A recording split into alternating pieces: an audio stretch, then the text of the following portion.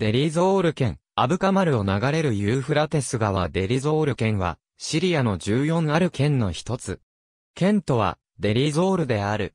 面積は33,060平方キロメートル。人口は109万4000人。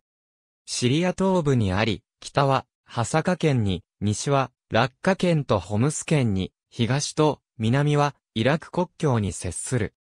県内をユーフラテス川が貫き、川沿いは、豊かな農業地帯であるが、その南岸には乾燥したシリア砂漠が広がる。一方で石油なども発見されており、地中海側へパイプラインで送られている。ユーフラテス沿いでは、ローマ都市ドゥラエウロポスやシュメールの都市国家、マリなどの重要遺跡が多数見つかっている。2007年9月6日に、イスラエル軍は、オーチャード作戦を行い、デリゾール県内の施設に対して空爆、破壊した。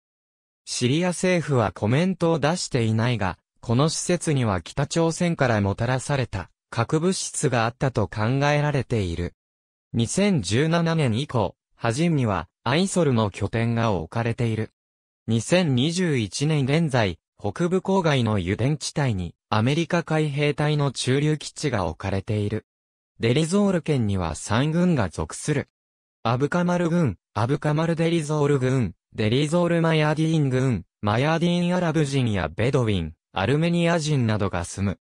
シリア、 City Population、Cities、Towns Provinces Statistics Map、ハット、 Israelis、Israelis seized nuclear material in Syrian、raid、The Sunday Times、http://www.timesonline.co.uk スラッシュ tol スラッシュニューススラッシュ world スラッシュ middle、east、article 251万2380、 ece ハット、シリア駐留米軍に、ロケット弾をやイラン派組織空爆の報復か、時事 .com、時事 .com、2021年9月1日閲覧。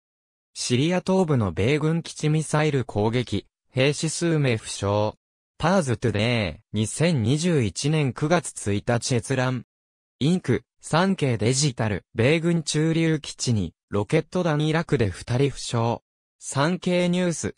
2021年9月1日閲覧。ありがとうございます。